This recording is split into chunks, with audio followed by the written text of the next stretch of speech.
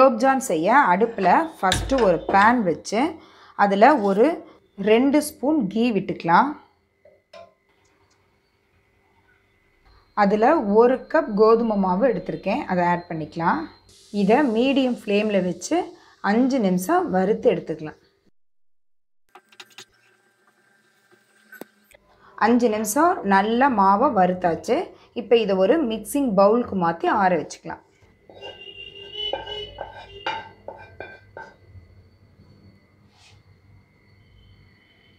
இப்போ இந்த மாவில் ஒரு ஒன்றரை ஸ்பூன் நெய் ஆட் பண்ணிக்கலாம். பால் பவுடர் ரெண்டு ஸ்பூன் ஆட் பண்ணிக்கலாம். கால் கிலோ மாவுக்கு இந்த ஸ்பூனில் ஒரு ரெண்டு ஸ்பூன் கரெக்டாக இருக்கும். ஒரு பிஞ்சு உப்பு போட்டுக்கலாம். ஒரு கால் ஸ்பூன் அளவு பேக்கிங் சோடா ஆட் பண்ணிக்கலாம். இதை நல்லா கலந்து விட்டுறலாம்.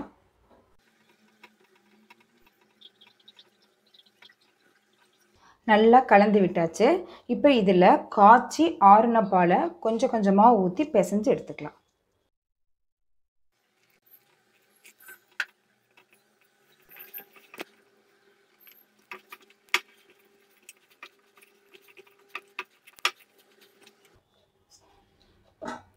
நல்லா பிசைஞ்சு எடுத்தாச்சு.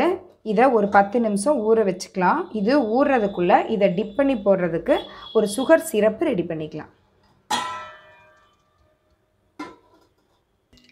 சுகர் சிரப்பு செய்ய அடுப்பில் பேன் வச்சு கோதுமை மாவு எந்த கப்பில் எடுத்தோமோ அதே கப்பில் ஒரு கப் நாட்டு சர்க்கரை எடுத்திருக்கேன்.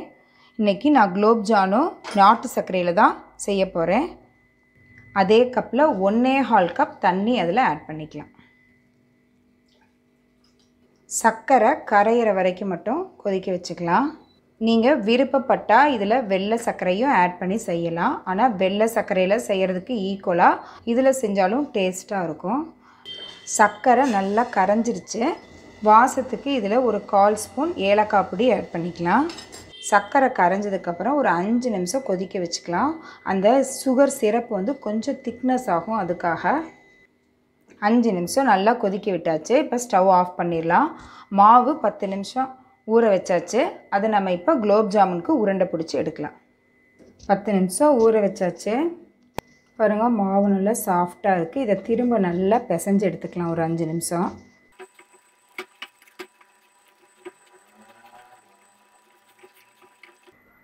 நல்லா பிசைஞ்சு விட்டாச்சு. இப்போ நம்ம குலோப் ஜாமுக்கு உருட்டி எடுத்துக்கலாம். நம்ம உருண்டை ஷேப்லேயும் எடுக்கலாம். நீல வாக்குலேயும் தேய்ச்சி எடுக்கலாம். இந்த ஷேப்லேயும் செஞ்சுக்கலாம். இதே மாதிரி நம்ம எல்லா மாவையும் குலோப்ஜாமுக்கு ரெடி பண்ணிக்கலாம். குலோப் ஜாமுனுக்கு எல்லா மாவையும் ரெண்டு ஷேப்பில் நான் ரெடி பண்ணிட்டேன். இப்போ இதை நம்ம எண்ணெயில் பொரித்து எடுக்கலாம்.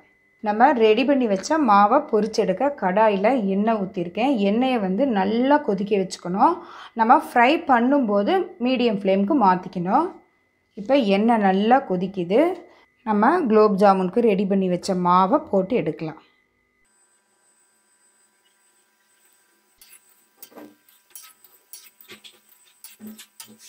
நல்லா கலர் சேஞ்ச் ஆகிக்கிச்சு இப்போ நம்ம அதை எடுத்துடலாம்.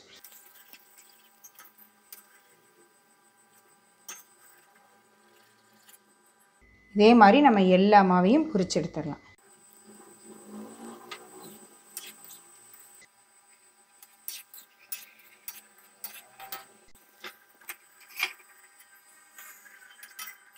எல்லா மாவையும் பொரித்து எடுத்தாச்சு.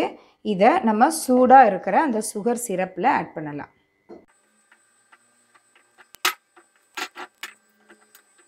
இதை மூணு டு நாலு மணி நேரம் ஊற வச்சா நல்லாயிருக்கும் குறைஞ்சது மூணு மணி நேரமாவது ஊற வைக்கணும். த்ரீ ஹவர்ஸ் கழித்து நம்ம எடுக்கலாம். ஊற வச்சு த்ரீ ஹவர்ஸ் ஆயிடுச்சு.